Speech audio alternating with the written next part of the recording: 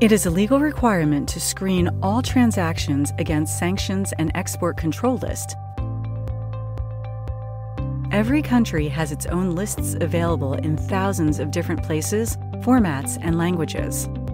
This makes it very time consuming and prone to failure, or almost impossible to perform all necessary checks and be compliant. An example of what this means a purchaser in India is buying engine parts from the Netherlands. The engine parts are loaded onto a plane at Schiphol International Airport for an 11 hour flight to New Delhi with a stopover in Dubai. How many lists must be checked?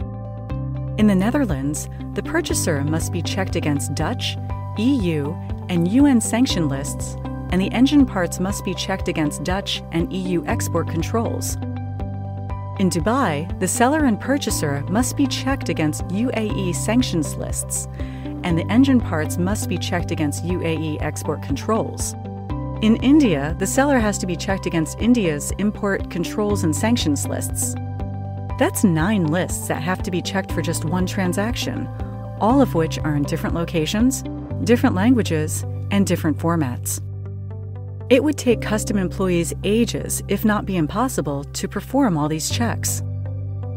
ITTS incorporates the world's largest compliance database to ensure customs agencies can perform all necessary checks efficiently.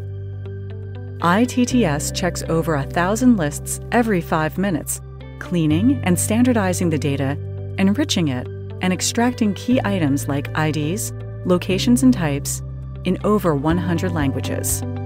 The enriched client and watchlist data will then be compared an automated analysis will be performed. In this way, checking all sanctions lists and export control lists in order to be compliant is done in the most efficient and effective way possible.